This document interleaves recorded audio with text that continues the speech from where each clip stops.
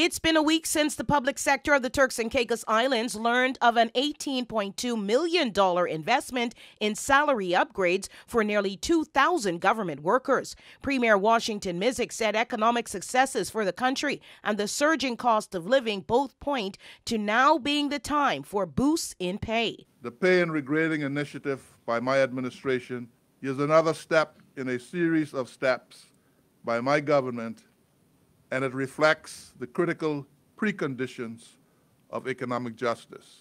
Every time that I have served as a member of the executive arm of government, I have made changes to boost the pay and the working conditions of people in these islands, both public and private sector. Following a pay and grading review of public sector salaries, it was determined that across the board, all 1,919 public sector employees should get at least a 10% raise. For teachers, though, the increases are tremendous. The deputy governor breaks it down. 74 staff in the teaching sector will receive the following increases effective December 1st, 2023.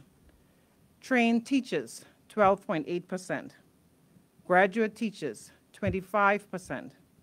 Heads of department, 29.9%. Vice principals, 42%.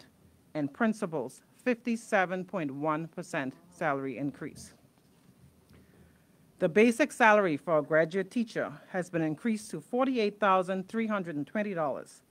Healthcare workers are also getting a healthier salary, with increases ranging from 22 to 29 percent more money in take home pay.